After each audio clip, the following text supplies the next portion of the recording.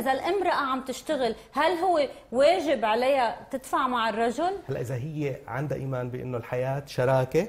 وهي اساس النظره العادله تجاه المراه والرجل فاكيد لازم يكون في مساهمه لا بس انت ما تحس انه لو الرجل كان مقتدر وما يبغي شيء منها اوكي خلص اما لو الرجل مش مقتدر ليش لا ما تساعده عادي شريك حياتها يعني بالنهايه